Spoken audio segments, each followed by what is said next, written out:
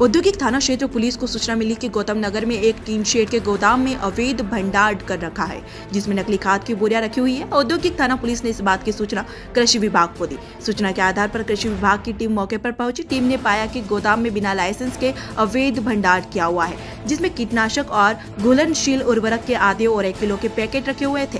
Packing पर golden crops and bioscience का trademark बना हुआ है।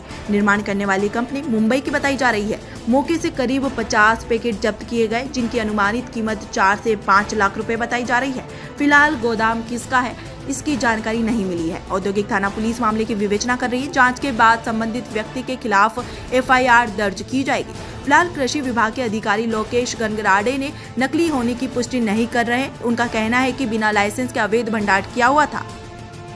आज दिनांक 28 जनवरी को पुलिस द्वारा हमको कृषि विभाग में सूचना प्राप्त हुई थी। कि यहाँ पे गौतम नगर देवास में टीन शेड में गोदाम में कुछ फर्टिलाइज़र और इंसेक्टिसाइड का अवैध भंडारण हुआ है।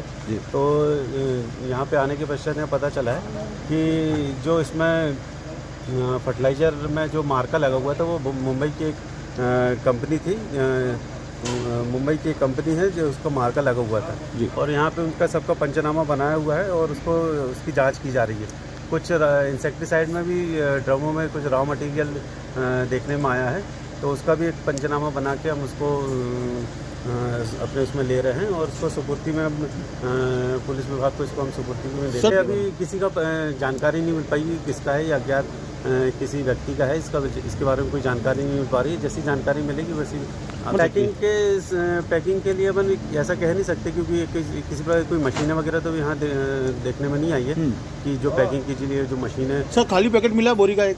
हाँ खाली पैकेट खाली पैकेट भी पूरे पैकिंग में ही आया हुआ है मुंबई की एक फर्म थी उसमें पूरा पैकिंग का माल हुआ हुआ है और पूरे बोरों में सील पैक ही था यहाँ पे। हाँ तो जो भी जो भी माल है यहाँ पे वो पूरा पैक्ड आइटम में रखा हुआ है तो ये कह नहीं सकते कि यहाँ पे पैकिंग की जा रही है किसी प्रकार। तो सॉल्यूबल फर्टिलाइज़र होते हैं, जो उन्नीस उन्नीस उन्नीस है कैल्शियम नाइट्रेस है ज़ीरो बावन चौंतीस है।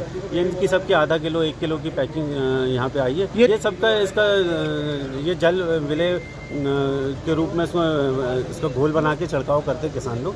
तो ये उसी चीज़ों के लिए छिड़काव के लिए उपयोग करते हैं। कितनी कीमत होगी अनुमानित अनुमानित तो अभी सभी का अंदाज़ा लगा के बता सकते फिर भी इसमें अंदाज़ा लगा करीब चार पाँच लाख की इसकी कीमत है। नकली का तो अभी नकली अमानत तो टेस्ट लेबोरेटरी में टेस्ट होने के पश्चात ही पता चल पाएगा कि अमानत है या और ये गोदाम किसका भी ये भी पता नहीं चला ये कोई जानकारी तो टैग पर कॉपीराइट लगेगा सर अब वही वही चीज़ सब देखना पड़ेगा अभी इसमें मतलब कंपनी मुंबई की है लेकिन यहाँ पाया गया हाँ। यहाँ कंपनी का नाम याद है सर आपको? Golden Crop. जो इम्पोर्टेड बाई बाई इम्पोर्टेड ये जो कंपनी है इम्पोर्टेड बाई है Golden Crop and bioscience science corporate office है मुंबई में है ये है वर्ली मुंबई। देवास से कैमरामैन अभिषेक सोनी के साथ राजेश कुमार की ये रिपोर्ट।